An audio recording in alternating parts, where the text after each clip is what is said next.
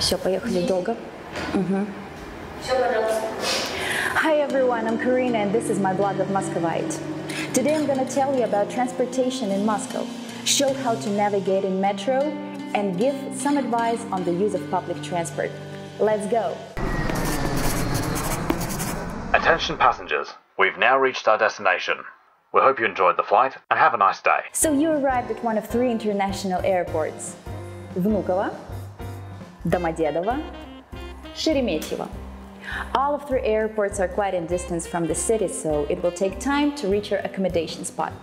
There are two ways of how to reach the city by train or by car. If you decide to take a taxi, never grab a driver who offers his service in airport or park taxi outside. They charge an exorbitant prices. Each airport has its own fixed price taxi. Order it and be sure you'll be safe and pay an acceptable price. All contacts and links you'll find below the video. So I advise you to take a train, an Aero Express, that will deliver you straight to the city center, to one of three railway stations where you can take a metro for a further trip. Depending on rate, one ticket may cost from 3 to 8 dollars per person.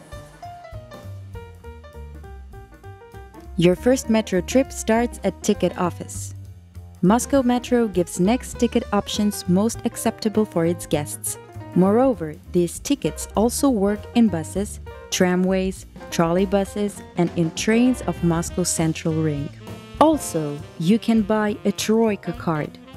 Drop some money on it and use it in all kind of public transport as well. One trip by Troika costs 36 rubles, which is less than a dollar. Locals usually use it. The card itself costs 50 rubles. It is a deposit that you can take back if returned card to any metro ticket office. And that's the only place where you can buy it. And remember, you can't share your cards, so each person needs his own ticket. Moscow Metro has 12 lines. Each line has its own number and color, which is much more easier to use. Follow marks on the floor when change lines and you'll never get lost. So both directions on the platform are opposite directions of one line, with exception of six stations. Those stations has cross-platform transition, so pay attention.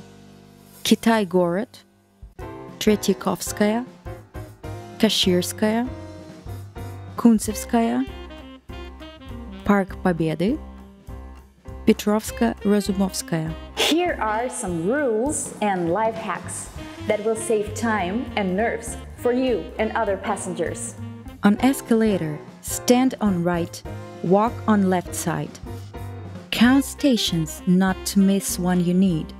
Despite English announcements, most of names sound similarly to foreign ear. For example, Krasnoselskaya, Komsomolskaya, Krasnogvardeyskaya, Krasnopresnenskaya, and etc. People in metro are always on the run, so step aside while reading marks.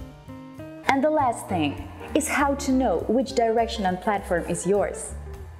Since all station names are in Russian, you need to have a metro map, both in Russian and in English. I'll leave a link to a very nice application in below. With help of application, remember name of station you are on,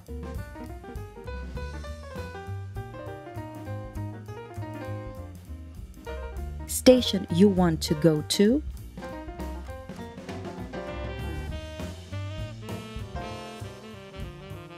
and two end stations of that line.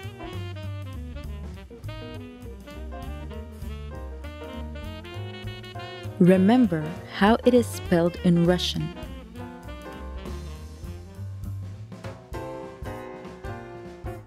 Find out towards which of two end stations you need to move. Find needed name of end station on a billboard. If it's on the right side of billboard, then you need to take right platform. The same with the left one. In case if your phone dies, each train and lobbies of stations has maps with English marks. Be ready that most of Metro employees don't speak English. Also try to use ground public transport. It will give you opportunity to watch the beauty of the city and give you unforgettable experience. It could be an alternative to tour buses for a funny price. Moscow Central Ring is a ground train line that goes around the city and connected with metro on 17 stations. Change is free and the ticket is common with metro and other public transport as I said earlier. Take a tour around the city on the Moscow Central Ring. Taxi is not easy to catch outside. Most likely you will order it. Be ready to wait for about 15 minutes. In my opinion, the best way to transfer in Moscow is using a metro. It works excellently. It's clean, safe, frequent, and cheap.